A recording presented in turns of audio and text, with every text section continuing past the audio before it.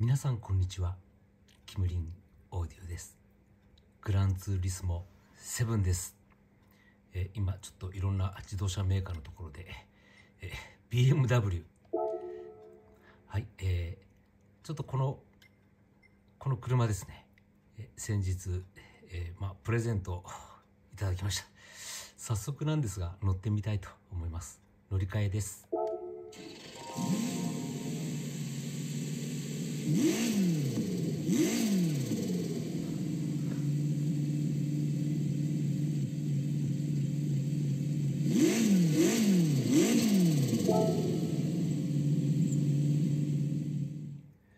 えーこういった車なんですね。もう本当レーシングカーです。これスプリントですから本当にあのこうもうタイムを出す車なんでしょうね。ブレーキなんかもすごいことになってます。M パワーって。昔あのこうありましたね。こんな感じですね。でこれでちょっと、えーそうですね、えーまあ、タイムアタックっていうのもあれですけどもちょっと、えーこれの耐久テスト、えそういったものをやってみたいと思いますが耐久レースに出るにあたってちょっとタイヤをとかですねあとレギュレーションにちょっと合わせてデチューンまたは、えパワーアップ、えそういうのをちょっとチューニングしてから、えーちょっとやってみたいと思います。じゃあ早速チューニングショップに行ってみたいと思います。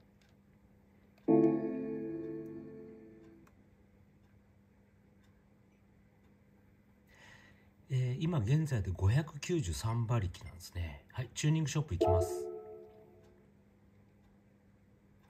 えっ、とまずえっ、とタイヤですね、えー耐久レースに出ますので、まあ、一番エクストリーム。えっ、とウェット。一応あのウェットタイヤ。え280万円。あとヘビーウェット。えっと耐久レースですと突然雨が降ったりとかしますのでここで、えーつけとくべき車タイヤパーツはないですね。えーっとあこれあ自然吸気。うん。あ一応あのもうあのこういったあのレーシング、えーブレーキが入ってるんですね。はい、えー、あ、もともと、えーレーシングハードがついてますので、えーっと、耐久レースになりますから、一応ミディアムぐらいまで。あ、今後のことを考えて、ちょっとソフトも買っておきましょう。えーフルカスタマイズシーケンシャルミッション。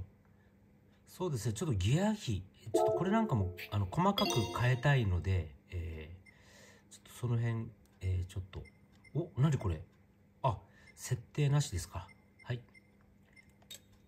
ちょっとセミレーシングの方でどうなんでしょう？わ、ターボ、ターボつけられるの？うーん。まあ、ちょっとターボは、もともとね、自然吸気 NA ですので、えナチュラルアスピレーション。あ、一応ちょっとパワーリ、パワーリストリクター。これであのちょっとパワーエンジンの出力ちょっと変えられる。あ、8万円でいいの ははは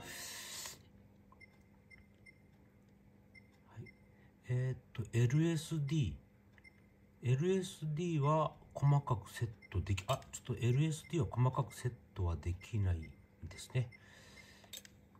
こっちのにあるかな？LSD あ LSD クラッチも変えられない。ブレーキも変えられない。ああもうエンジンはもう出来上がっちゃってるんですねスポーツ。ああもうレーシングカーもう完成されたマシンですからあんまりいじるところがありませんね。はい。えー、ということとで、えーとりあえずタイヤでですね。はい。じゃあ、えー早速耐久レース。そうですね、えーちょっと長くなります、えーもしあのご覧になっててつまんねえなと思ったらもうあの他の面白いチャンネルの方を見てください。で、えーまたあのまあ僕の今からやるこれえフランスにありますルルマン24時間、えこれサルテスサーキットですね。えー、っとここがそうです30分間の耐久レースになります。えー、っとこれいけるかな？この車でエントリーできる？あえー、っとここにパフォーマンスポイントで700以下。で、えー、現在、えー、僕の車はどれぐらいかな？じゃあちょっと、えー、カーセッティングというところであレーシングソフトはちょっとミディアムに落とします。で、えー、ちょっとパフォーマンスを測定して、えー、それでもまだ、えー、ちょっと厳しいですのでさて、えー、コンピュータ、ー、コンピューターでちょっとパワーを落としていきますね。いやー結構。ちょっとこれぐらいでどうかな。お願い。あんまりパワー落としたくないな。あそれでも。結構パワー落とさないとダメですね。じゃあえー、っと次。えー、っと。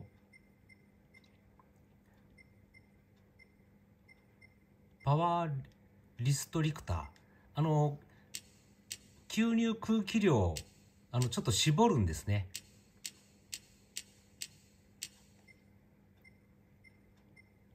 で測定する。ああと713あと13ポイント下げないといけないんですか。ダウンホース。うん。ダウンホース上げると。で、えー、最高速280ちょっとこれで270キロもあれば多分大丈夫だと思うんですけども、えー、サスペンションはもういじれいじれないですね。はい、えー、デファレンシャル僕の好み。アクセルを抜いた時にデフはオープン側にしたいです、えー、イニシャルは、えー、10%、えー、踏んだ時に45うん。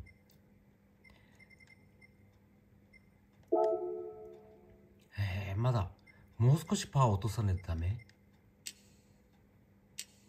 えー、474、469馬力。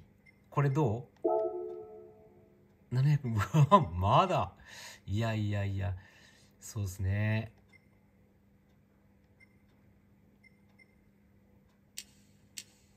458馬力。453馬力。どうだ？まだ、まだパワー落とさないとダメか。いやいやいやいや。あと、どこで？空力？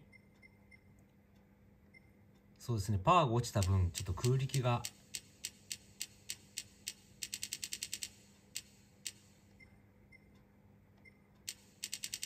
フロントはもう400ぐらいでいいですね。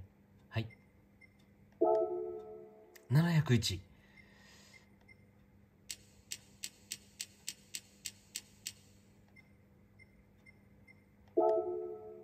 700まだもうちょい。もうちょい。やもうちょい。難しいですね。さてあとどれでもっとどれで落とそうかな。フルじゃあコンピュータで一つ。あまだ。700のえー、700.70このなもう小数点以下70これを削らないといけないですね。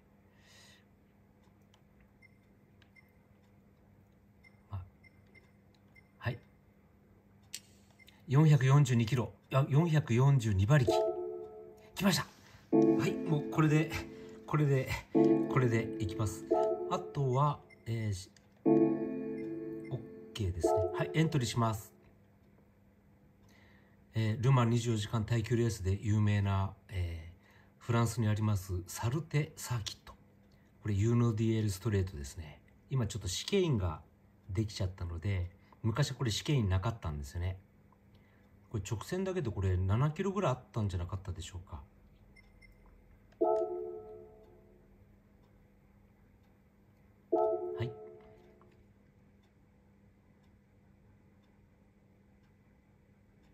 30分間です。長いですよ。今もうこの時点で9分経ってますのでこれ40分超えるレースになります。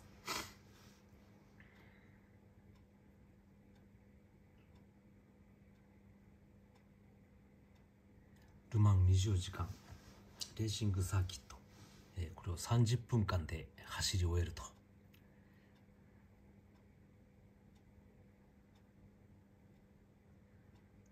しばらくお待ちください。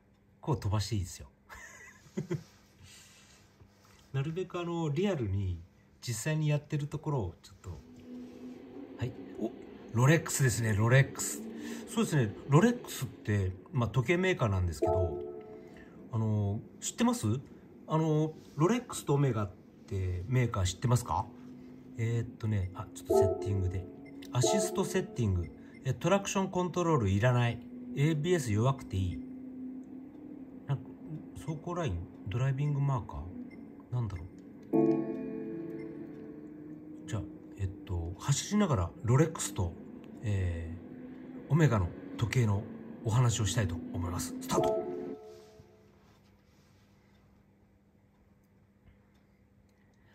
えーまあもともとあのオメガにオメガっていうとスピードマスターっていう時計が有名なんですけど、えー実はロレックスにはデイトナっていうモデルがありますね。あの時計好きの方はロレックスだったらデイトナっていうモデルがあるのはご存知だと思うんですけどあのーオメガってスピードマスターなんですね。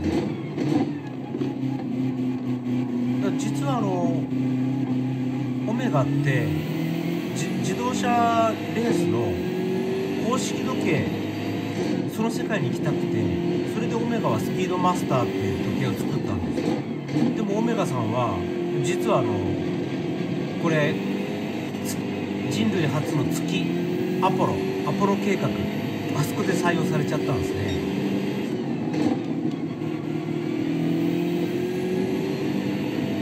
本当はオメガさんはこの自動車レースの公式時計をやりたかったんですね。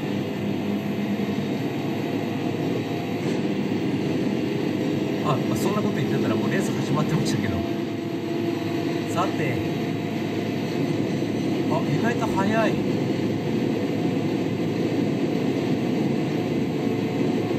ちょっと真剣になります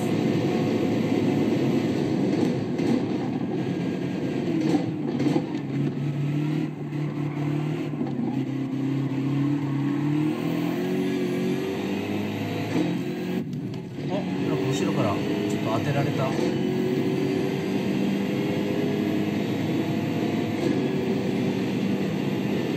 で確かロレックスは宇宙に行きたかったはずなんですよでアポロ計画とかなった時にまあ時計の選定が入るんですけどあのオオメガさんが、まあ、クロノグラフじゃないですけど、まあ、タキメーター機能とかそういったものがこうあったんでしょうねそれといろいろと NASA の試験で、まあ、いい結果が出たんでしょうね。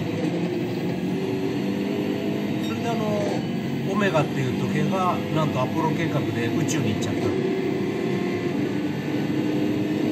でロレックスは逆に、まあ、自動車自動車あのの公式時計になっちゃった。そんな感じですかね。これここミルミルサンルコーナーだった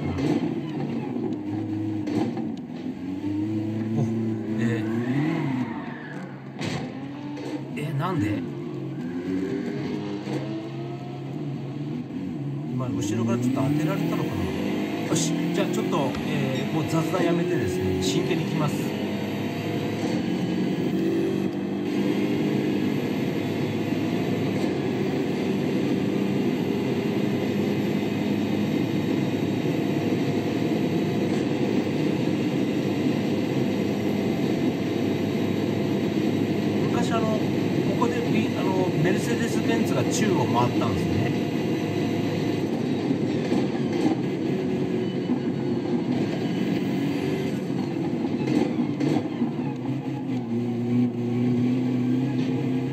まあ、これプレゼントカーの BMW なんですけどももう初っ端な、えーもういきなりシェイクダウンでレースに出てしかも、えーあそこミルサンルコーナーでした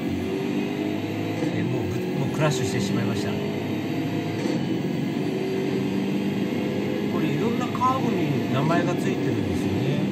ポルシェコーナーとかフォードコーナーとかなんかいいろんな名前がついてるんですけどさすがにちょっとわからないですけど、まあ、詳しい方はここがポルシェコーナーだよとかここがフォード試験だよとか、まあ、言っていただければ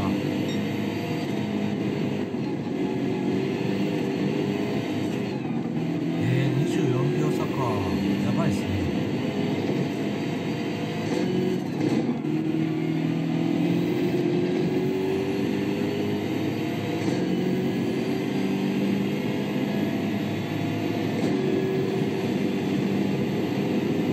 ここがあの最終試験ですね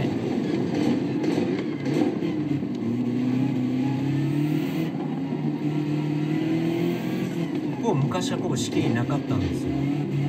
でなくて本当にあのあの耐久レースが始まったと頃のこれもうあの時にまあベンツがあの大きな事故を起こしちゃったんですね。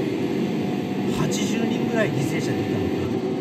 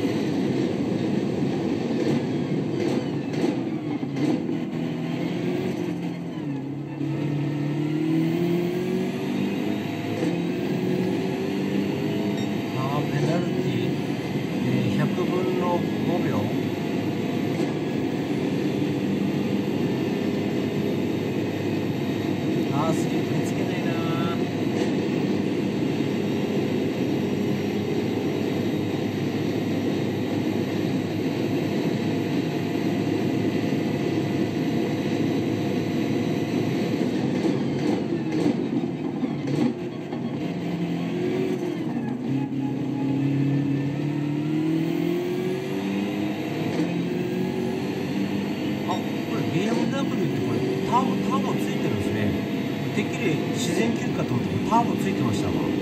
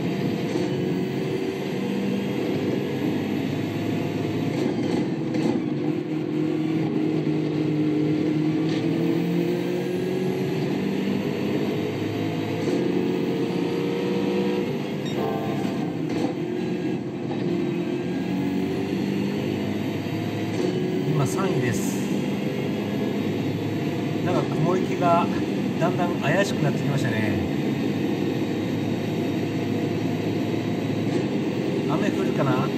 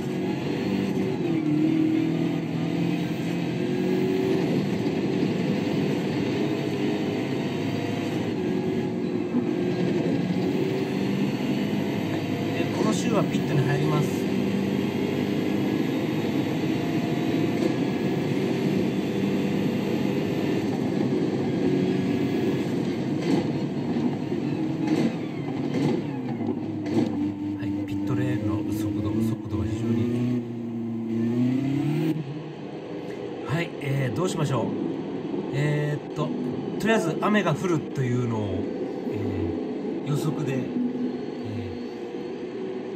ー、あの雨雨用のタイヤこれちょっと僕選びました。これが僕があの判断ミスするか、えー、どうなるかちょっと分かりません。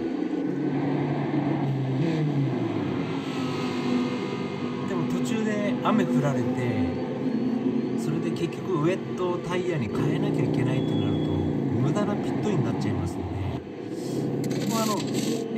ター38の、え、ヘビーウェットではない、え、ちょっと軽めの、え、ウェットタイヤにしてですね。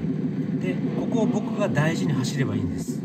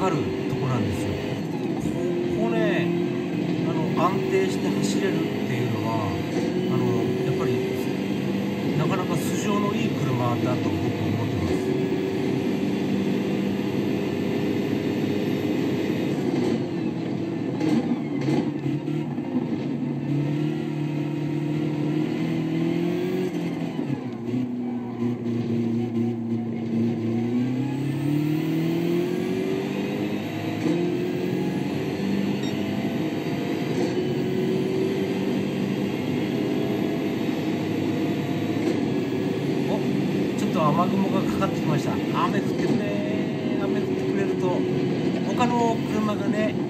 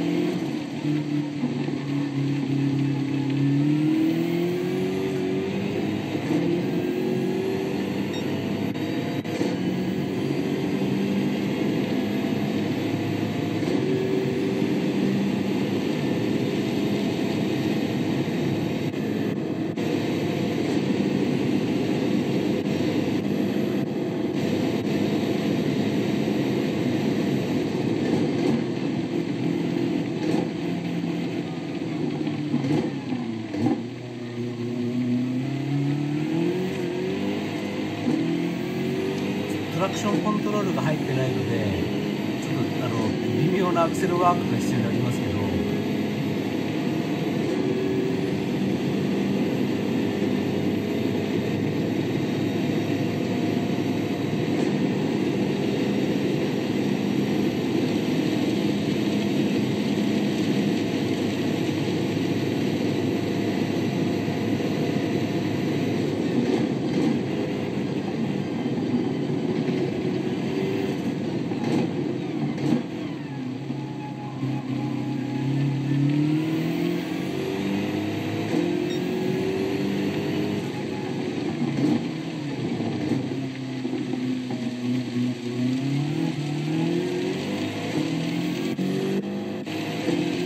はいまだ後ろの方に水のあれが出てないですねスプラッシュが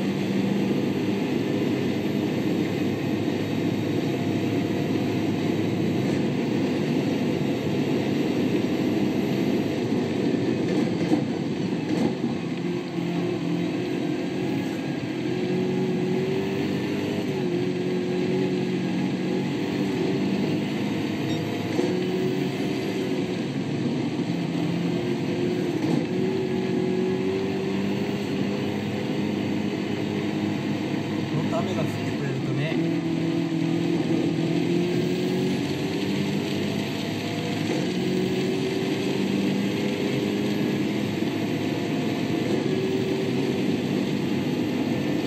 やったーピンと入ってくれたこっからですこっから僕がこのウェット路面の状態で僕がここでさらにタイムを刻まないといけないんです。僕は次の週でピットに入んなきゃいけないですね。燃料補給で。であとはこの天気が、えーこのまま雨が雨で雨にで続くのか晴れるのか。その時にまた僕は、えータイヤ選択を迫られます。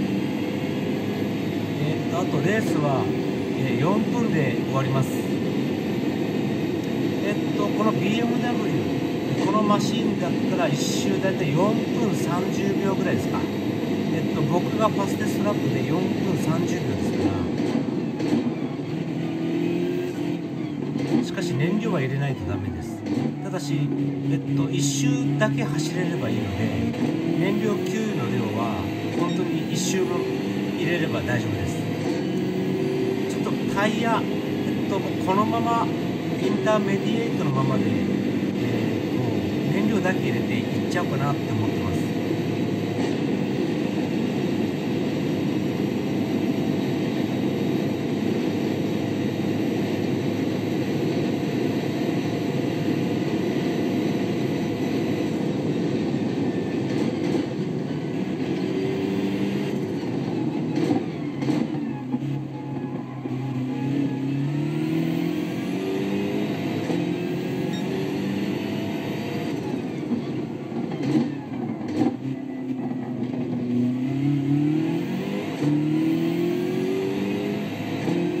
えっと次の週で、えっと、ピットに入って給油です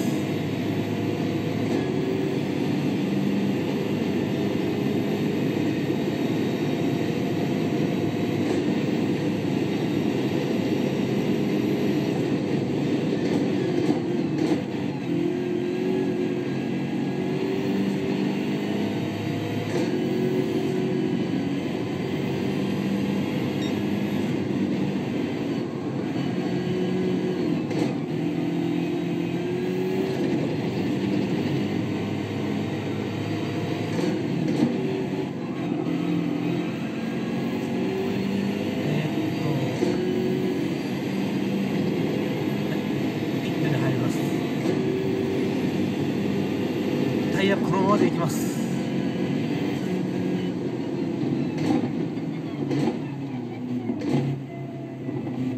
もう燃料だけです。交換しない。こ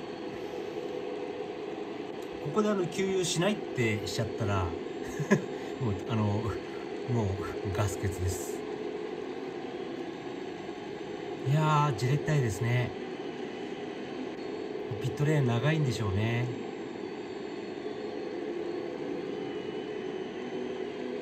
えっとこの耐久レースはあと1分で終わるんですけどもいやー2位との差が今47秒台なんですが今僕ピットタイムでよし OK もう今い1.1周入りました。1.1周分。よし1位で戻れました。あと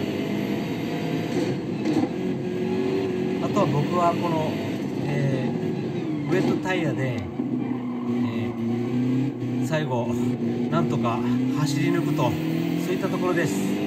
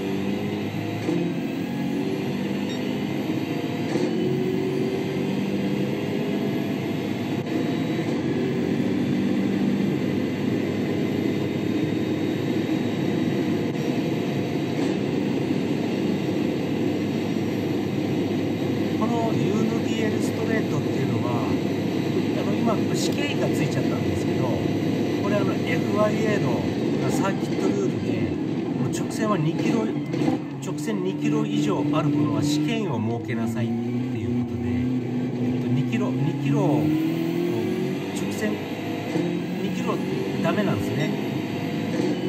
でまだ試験がない頃これ実はあの 今度またこのサルテサーキットでまたレースしてみようかなとか思うんですけどあのルマン24時間耐久レースで勝つためではなくてこの U の DL ストレートの直線ストレート何キロ出せるかっていうただそれだけをチャレンジするために参加した、えーメーカーチームがあのあったのご存知でしょうか？今度そういったネタで僕このサルテサーキットを走ってみようかなと思ってます。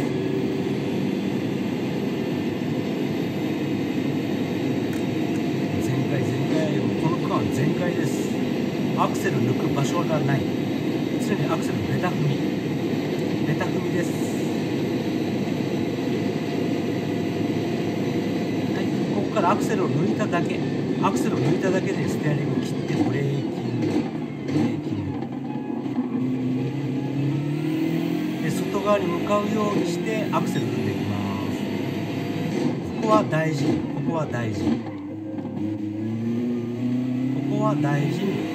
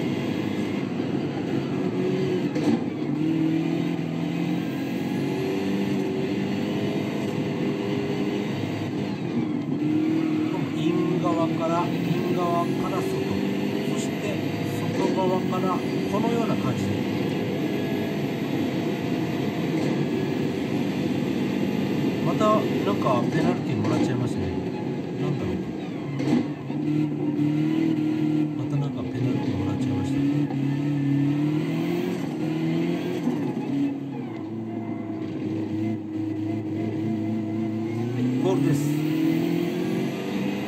ピットチームに、はい、ありがとう。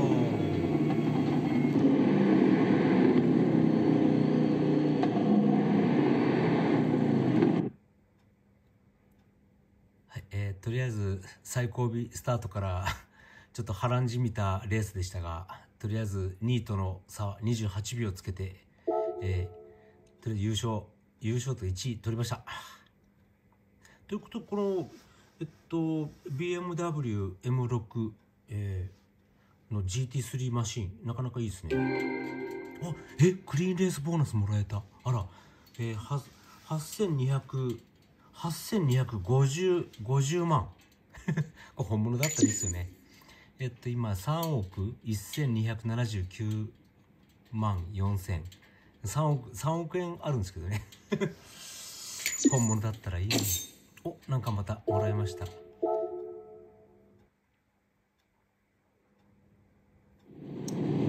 非常に今日は、えっと、長いレースになってしまいました。長い内容になってしまいましたね。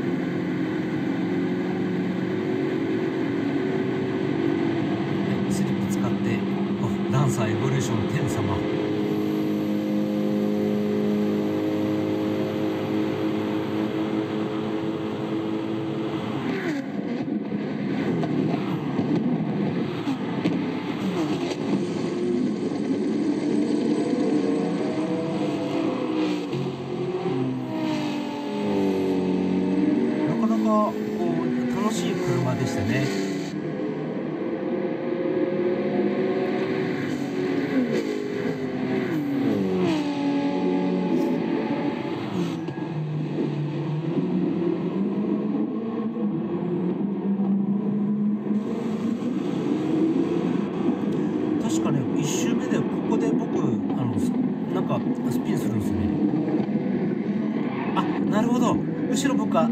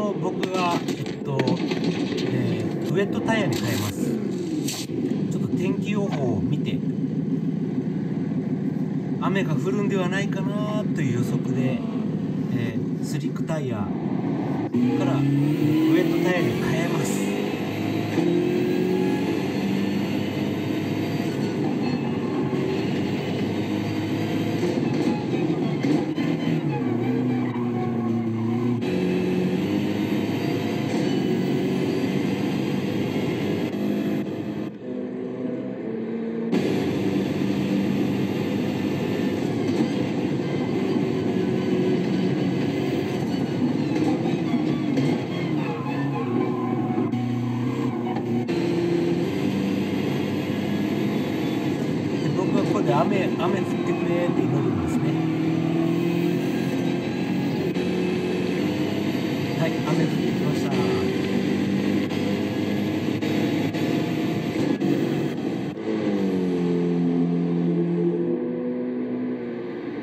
こでタイヤチョイス僕とりあえず正解。